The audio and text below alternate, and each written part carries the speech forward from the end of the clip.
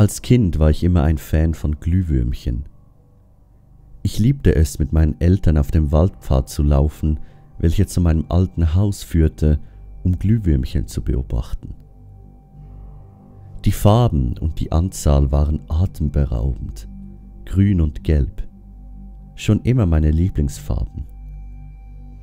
Manchmal habe ich mich nach der Schlafenszeit rausgeschlichen, um noch ein paar Minuten diese farbliche Wunder zu bestaunen. Allerdings kam eines Tages die Nachricht in Briefform, dass wir uns das Haus nicht mehr leisten können und drei Wochen Zeit haben, um das Haus mit allen Möbeln außer die Kücheneinrichtung zu verlassen. Mir liefen die Tränen in die Augen. Wieso ich? Meine Mutter sagte, dass wir uns was in der Innenstadt suchen werden, da es da billiger wäre und wir so mehr Geld für private Dinge hätten, wie Lebensmittel oder für einen professionellen Friseur. Ich fand die Idee mit verlaufender Zeit immer besser, da ich schon gerne öfters was Warmes zu essen hätte und die Frisur, die meine Mutter für stylisch hält, war zuletzt 1990 im Trend. Ich habe über diese drei Wochen jeden Abend meine Eltern angefleht, noch einmal die Glühwürmchen zu betrachten, doch meine Eltern dachten sich, wenn sie es mir jetzt schon verbieten, fällt der endgültige Abschied nicht so schwer. Ich bin einen Tag kurz vor dem Fristablauf am Tag des Umzugs, bin ich abgehauen und habe mich auf der Lichtung in der Nähe meines Hauses versteckt. Ich wollte bei den Glühwürmchen übernachten, doch mein Vater fand mich nach circa einer Stunde in der Wiese verträumt im Halbschlaf.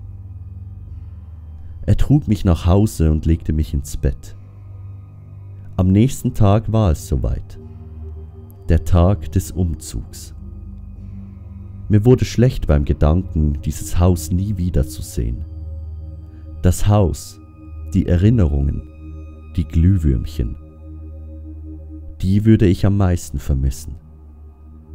Ich werde nie vergessen, wie mein Vater mal aus Versehen eins gegessen hat oder wie meine Mutter anfangs dachte, dass sie gefährlich sind und ihr Licht mich vergiften würde.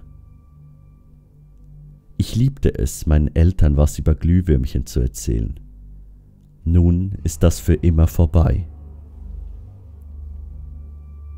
Der erste Tag in meinem neuen Zimmer verstrich und ich fühlte mich immer unwohler.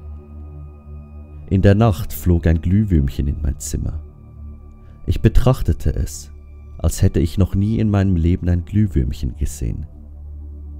Ich erinnerte mich an all die Momente in meinem Leben, welche ich nie wieder erleben werde. Ich wurde wütend. Ich nutzte es aus, dass das Glühwürmchen still und regungslos auf meinem Tisch saß. Ich lief langsam drauf los und zerquetschte es nach einem kurzen Zögern mit einem Spielzeugauto. Ich habe es nicht bereut. Warum auch? Das Wichtigste in meinem Leben wurde mir genommen. Ich war immer noch wütend, doch danach wurde ich traurig, habe geweint, so dass es meine Eltern nicht mitbekommen. Die Zeit verging. Ich beendete meine Schule und entdeckte während meiner Ausbildung mein Talent für das Geschichtenschreiben. Ich verfasste gegen Ende meiner Ausbildung ein Buch. Mein Leben unter den Glühwürmchen. Ich schrieb in dem Buch über die Geschichten, welche ich erlebt hatte und wie sie mein Leben verändert haben. Therapeuten dachten sich die sogenannte Glühwürmchentherapie aus – bei denen die Patienten sich in einem Raum mit Glühwürmchen wiederfinden und so Aggressionsprobleme in den Griff bekommen. So verdiente ich genug Geld, mein altes Haus zurückzukaufen. Ich kam in meinem neuen alten Zuhause an. Ich lagerte alles in die Räume ein und begab mich nach draußen. Ich wollte sie noch einmal sehen, die Glühwürmchen. Ich begab mich zur Lichtung. Da waren sie. Grüne und gelbe Lichter tanzten über die Wiese und ließen mich in einen Tagtraum der Nostalgie fallen. Traumhaft. All diese Farben, grün und gelb und rot. Seit wann gibt es rote Glühwürmchen? Ich betrachtete es näher und scheinbar wollte es auf mich zufliegen. Es landete auf meiner Schulter und ich versuchte es zu betrachten.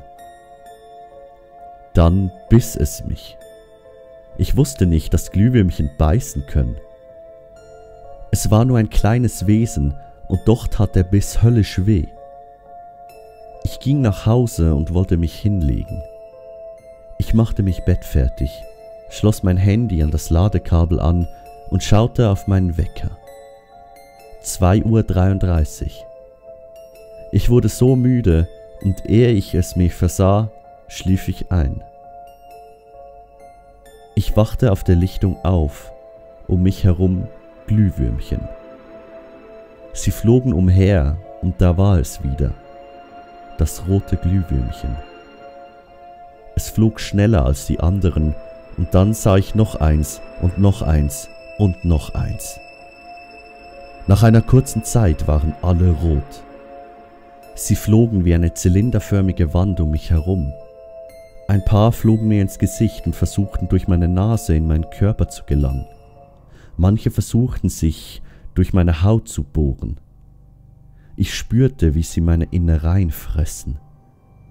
Es war nur ein Traum, und doch waren es Schmerzen von ungeheurer Stärke. Ich spürte, wie mich die Lebenskraft verlässt, und das Letzte, was ich mitbekam, war, als sie begannen, mein Herz zu verspeisen. Ich wurde wach.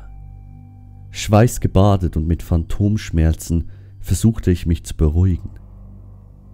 Als ich einen klaren Gedanken fassen konnte, schaute ich auf die Uhr. 2.33 Uhr. Äh, was? Ich habe doch geschlafen. Wie kann das sein? Es ist keine Minute vergangen. Plötzlich sah ich, wie sich die Ziffern bewegten. Es waren kleine rote Punkte. Es waren Glühwürmchen. Dann fiel mir ein, dass der Wecker noch gar nicht eingesteckt war.